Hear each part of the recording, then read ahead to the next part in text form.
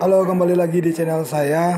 Kali ini saya akan membahas tentang tanaman kelor yang memiliki mitos juga dan memiliki banyak sekali manfaat untuk kesehatan. Yang pertama kita bahas mitosnya dulu. Tanaman ini sebagai pengusir setan.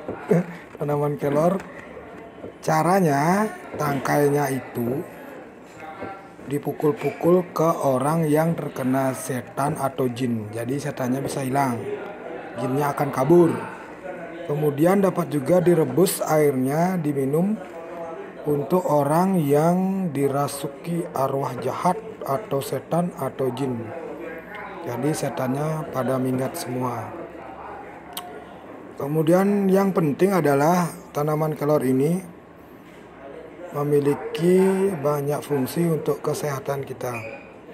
Tanaman yang hidup di iklim tropis atau subtropis ini uh, memiliki sumber vitamin dan mineral yang tinggi yang sangat berguna untuk kesehatan kita.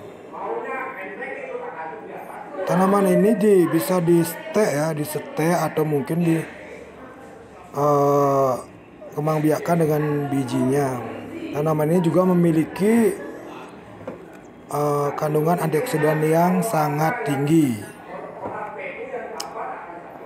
Yang sangat penting antioksidan yang sangat penting untuk kesehatan tubuh. Kemudian dia bisa juga menurunkan kadar uh, menurunkan kadar gula dalam darah kita.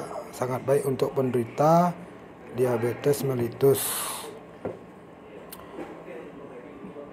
Ini tanamannya sangat hijau ya Kemudian dia mengandung zat anti peradangan.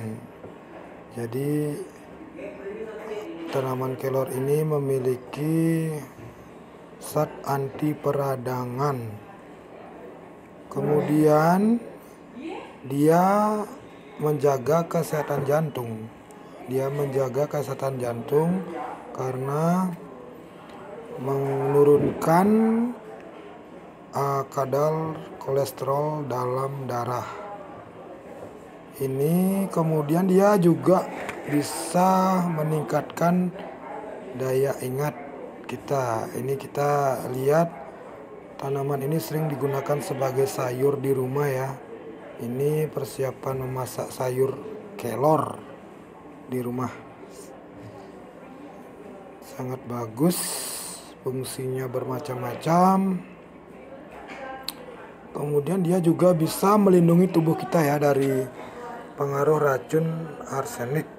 Jadi sebagai penawar racun juga bisa selain mitosnya pengusir setan tadi. Apa ada ya setan masih di dunia ini? Kemudian dia uh, mencegah anemia juga. Artinya kekurangan darah, mungkin dia memiliki kandungan zat besi, kita mengurangi anemia. Meningkatkan daya ingat tadi, mengatasi kanker. Ya sekian dulu video singkat tentang tanaman kelor ini.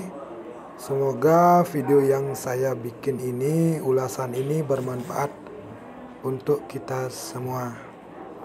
Tetap semangat, tetap Stay tune in di channel saya. Terima kasih.